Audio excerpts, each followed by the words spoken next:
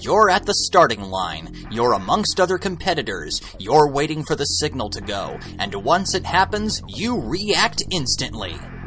Racing is one of, if not the most popular sport in video games. This is where the most inventive ideas reside, while the other sports usually resemble real life.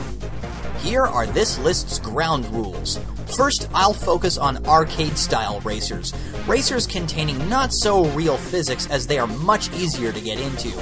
Games that are only simulators won't be included. Second, one game per franchise. Third, quality and fun factor matter more than popularity. No matter how trendy a certain title is, that doesn't automatically make it excellent. Fourth, Games where you solely rush to the finish before time runs out don't count. So don't be surprised if a title like Excite Bike or Hang On doesn't appear. Finally, I want this list to be like no other, so Mario Kart titles won't be here. I'm Dylan, and these are the other top 5 finest racing games. Number 5 Downhill Domination. Created by Twisted Metal Black developer Incognito Entertainment, this is a game that combines the racing and trick system from SSX with the combat mechanics from Road Rash. Instead of snowboards or motorcycles, Downhill Domination features bicycles. The courses are designed to be sprints instead of circuits, hence the downhill aspect. There are plenty of jumps, alternate paths, and a few shortcuts. Fill your boost meter by swiping energy pickups, performing tricks, and passing through checkpoints and knock your opponents down using side attacks. It's complicated at first, but once you get the hang of it, it'll be a joy to play. Attacks can be upgraded and consist of throwing water bottles and whacking people with kicks, punches, sticks, and even the tail end of your bike. Wipeouts may be frequent, but almost instantly, your rider will reappear back on their bike. You won't necessarily drop down in rank or stay near last place just because of multiple accidents. Also, as long as you stay on or near a marked path, you'll usually be fine. Players need to accumulate enough credits to continue to the next course in championship modes. Unlike Wave Race 64, which abruptly ends the tournament for not gathering enough points, Downhill Domination instead sends players back to the start of the most recently finished track until they rack up enough credits to move on. This game's freestyle career takes a page from the career mode of the early Tony Hawk skateboarding series. Complete a set number of objectives to continue to the next group. Because the game takes a while to master, there's a training mode to practice and acquire the skills in all the major components within.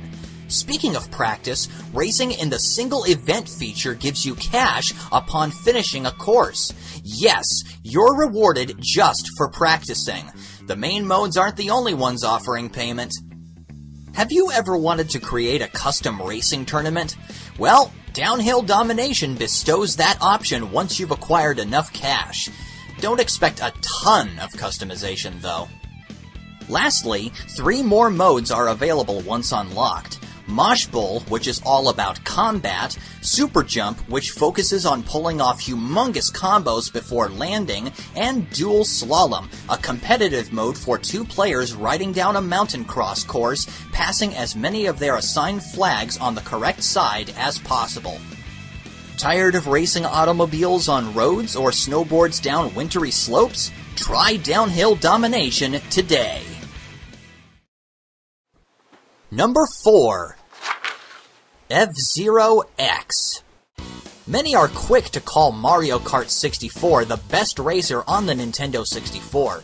But if you ask me, F-Zero X is the better game because the opponents in this title aren't total cheaters. The absence of weapons, especially the spiked blue shell, eliminates the chances of dropping several places. Plus, it's not thoroughly strenuous like F-Zero GX. The series is based around ultra fast speed, high concentration, and memorization. In F Zero X, racers can be damaged or destroyed with side and spin attacks. As players finish first in the three Grand Prix Cup leagues on different difficulties, they can unlock two new leagues and up to 30 cars, a huge step up from the original's four cars and three leagues. Feeling upset? Blow off some steam with the Death Race, where the goal is to destroy all cars on the track. The X Cup League is what gives this game its replay factor. It generates randomly designed tracks every time you play. Number 3 Need for Speed Hot Pursuit 2, the PlayStation 2 edition. Giving players the abilities to pilot exotic automobiles and police vehicles and navigate tracks with shortcuts and alternate routes, NFS HP2 is a jolly good time. Descriptions of cars and tracks aren't as thorough as previous installments, and night driving, weather, mirrored courses, and simulation style options weren't encompassed in this, but that's okay. These shortcomings are remedied by options like having a full grid of racers in hot pursuit mode, semi auto transmission, and extreme handling. Two excellent features many racing games don't incorporate are in this game. First up is the zone camera. One of its functions is to preview the track ahead. It's incredibly useful to see any major obstacles coming up. The second feature is the bird's eye rear view, which allows you to see rivals and the fuzz from behind while you can still see in front of you. It's even possible to peek over hills! The two main modes in this game both contain championships. Some events require you to apprehend suspects instead of straight up competition, which breaks up the monotony. Difficulty is well manageable for the most part, and even the rubber band AI is acceptable because it's easy to catch up, overtake your rivals, and stay ahead of the pack for a while. The PS2 version has some great advantages over the other ports. For instance, players have access to a nitrous booster while playing as a cop, extra desert tracks are exclusive to this port, and best of all, there's seemingly a strike system in hot pursuit mode. No matter the situation, you're only taken into custody if you get stopped three times. Need for Speed Hot Pursuit 2 for the PlayStation 2 is a welcome addition to hardcore, intermediate, and perhaps even casual gamers interested in taking to the roads as gutsy stunt drivers or the law itself. Number 2 Sonic and Sega All Stars Racing.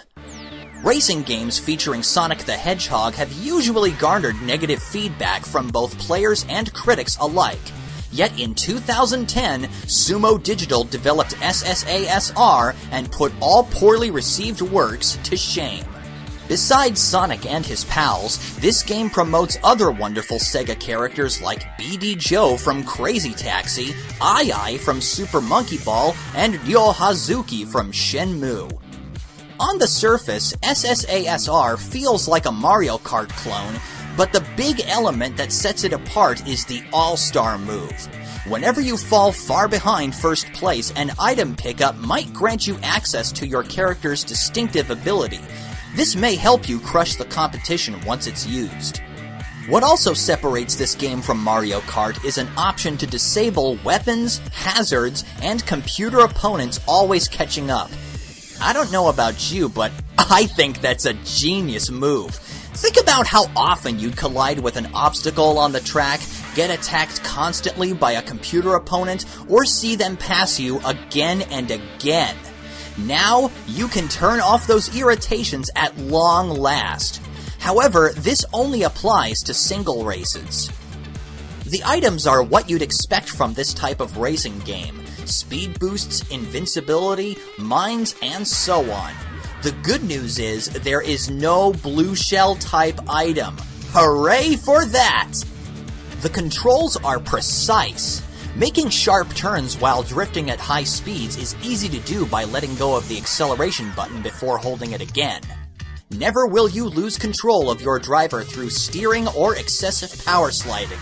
Drifting can give you a speed boost, and pulling off tricks in midair can speed you up as well. The courses are based on popular Sega franchises and are a blast to ride on.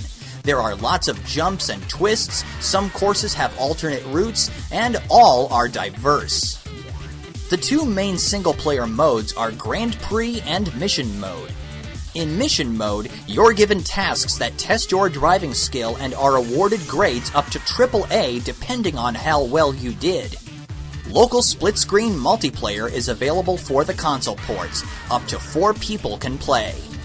While the sequel, All Stars Racing Transformed, has boats and aircraft as well as ground vehicles, the controls in that title are a little too wonky, and the difficulty is a bit too high for the average player.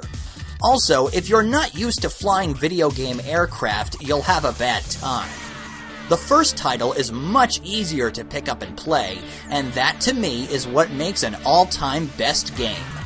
Sonic and Sega All Stars Racing is indeed a masterpiece, but I believe the title chosen for the number one spot is even better.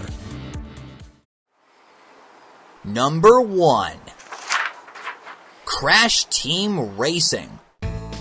Oh boy, are we in for a treat! Everything one could possibly want in a racer is in CTR. Grand Prix, time trials, battle and versus modes, and the hardly ever used adventure mode. Also, the learning curve is simple to get a hold of. Power slide boosts are activated through a filling meter instead of fancy skills. Plus, the controls are smooth. In adventure mode, players receive hints and tips for achieving victory. The challenge is balanced on all difficulties and feels fair without being completely cheap. Plus, the ability to tackle missions in any order you please and face bosses in the main game is something that you don't find very often in this popular subgenre of racing games. Multiplayer is lots of fun here, and the game even supports the PlayStation Multi-Tap, allowing up to four players at once. There may be an item that targets the first place competitor, and the final boss may be quite tough to beat, but the game is not that frustrating. If you have trouble trying to unlock extra stuff, you can enter push button cheat codes to get the job done anyone who enjoys go kart racers really should play Crash Team Racing.